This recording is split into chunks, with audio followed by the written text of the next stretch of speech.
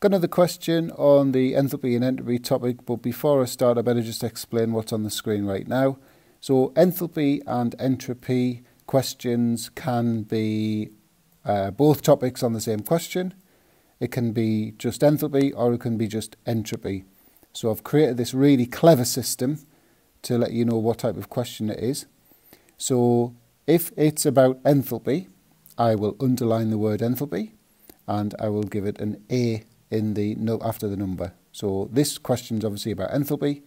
Um, and if the question's about entropy, I'll underline the entropy and put a B after the number instead. If the question's about both of them, I'll just won't bother underlining anything and I won't bother with an A or a B.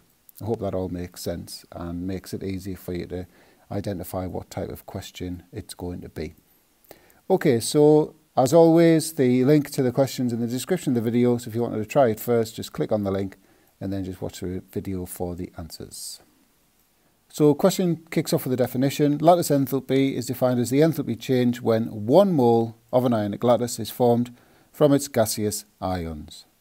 So first part of B, we've got to label up the Born-Haber cycle as per these labels here. I've just copied the table up to save me going backwards and forwards. So starting with this one here, so we're just looking at what's changed. So we're going from elements to the compound. So that's enthalpy change of formation. So that's letter F. So for this step now, we're going from elemental sodium to gaseous sodium. So that's the atomization of sodium. So that's process E. Half a mole of elemental oxygen to a single oxygen atom in the gas phase. So that is the atomization of oxygen. So it's letter D.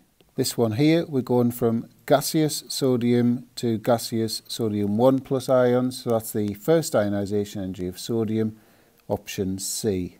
This one here, we're taking one of these electrons and we're putting it onto the gaseous oxygen atom to generate a gaseous oxygen 1 minus ion.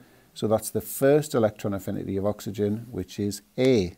So this step here is the second electron going onto the O minus ion, going to O2 minus, so that's the second electron affinity of oxygen, so that's option B. And finally, we're going from the gaseous ions to the solid lattice, so that's the lattice enthalpy, which is option G.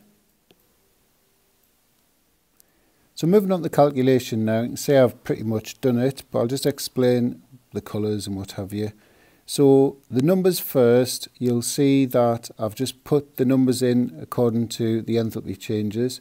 I just want to pick out a couple of things. So you can see this one here, we had to double this one because the enthalpy change refers to one mole of the process, whereas in the cycle we've got two moles of sodium solid going to two moles of sodium gas. So that's double the atomization process for sodium, which is why we need to double that. And likewise, for the first ionization energy of sodium, we've got 2 moles of sodium gaseous atoms going to 2 moles of sodium 1 plus gaseous ions. And so that's double the first ionization energy, hence the 2 there. All the others are as per the definition, so we didn't need to touch them. The colours now, so we've got two routes. We've got the green route and we've got the complicated pink route. Hess's law says that the sum of the enthalpy changes in each route equal each other, which gives us that there.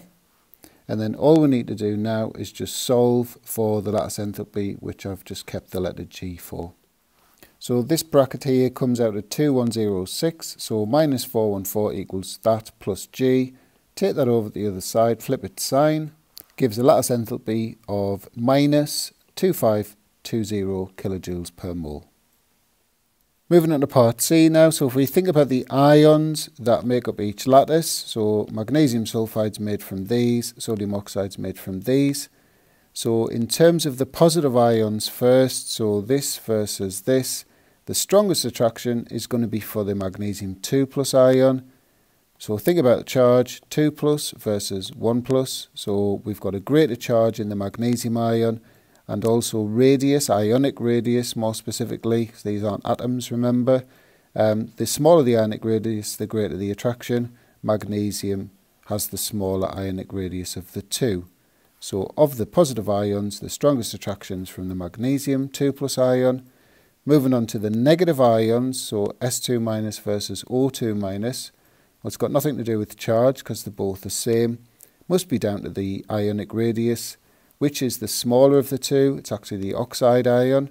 So in terms of negative ions, the oxide ion has the greater attraction. And that's why it's going to be difficult to predict whether the lattice enthalpy of magnesium sulfide is more or less exothermic than the sodium oxide. First part of the day is a little bit tricky, I think. So why would it be difficult to determine the lattice enthalpy of sodium carbonate using a similar Born-Haber cycle? Well, it's all down to the fact that the carbonate ion contains more than one type of atom. So if you think about how the cycle would look, you would need to include the formation of a carbonate ion before you could then combine it with a gaseous sodium ion to make the lattice sodium carbonate. And obviously that's difficult. And finally, a Born-Haber cycle for the enthalpy change of solution of sodium carbonate. So we're told that it's exothermic. So the fact that it's exothermic means when you go from the solid lattice down to the aqueous ions, it keeps going down basically. If it was endothermic, it would kick up there. Okay, so anyway, that's how the cycle is meant to look. So I'll just explain how you can use that to calculate the lattice enthalpy. So again, it's Hess's law. We've got two routes to go from here to here. So you've got the green route. So how else could you go from here to here? You can go this way, the pink route, but notice that this arrow here is not going in the right direction for the route. So to go from here to here, that, those are okay, but that one is in the wrong direction. So as an equation, it would look like that. So the lattice enthalpy, this green route here, is equal to the sum of the hydration enthalpies. Remember that would need to be doubled because we've got two moles of sodium ions that would need to hydrate. So the sum of the hydration enthalpies minus, because that arrow is going in the wrong direction, minus the enthalpy change of solution for the sodium carbonate.